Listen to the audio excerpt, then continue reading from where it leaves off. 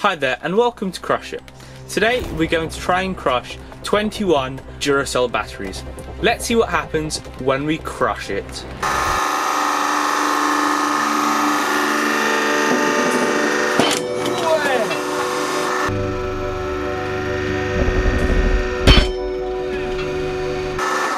It gave quite a cool explosion. Now on my first crushing a battery video there was so many comments saying The acid, it's an acid, no. It's an alkaline, no, it's an acid. You're gonna die, you're gonna die.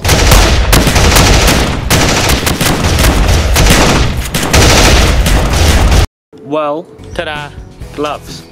So, I've added some of the ones that escaped. I'm gonna try and crush the remaining batteries.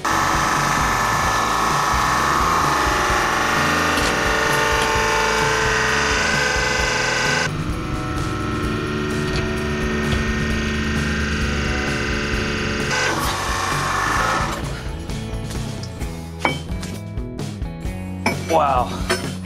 Yeah, that's disgusting. Loads of squash batteries, but that blue stuff, acid or alkaline, no debate in the comments. They're really warm. Each single one is very, very warm. It's flattened, pretty cool. So yeah, thanks for watching and we'll see you on the next video.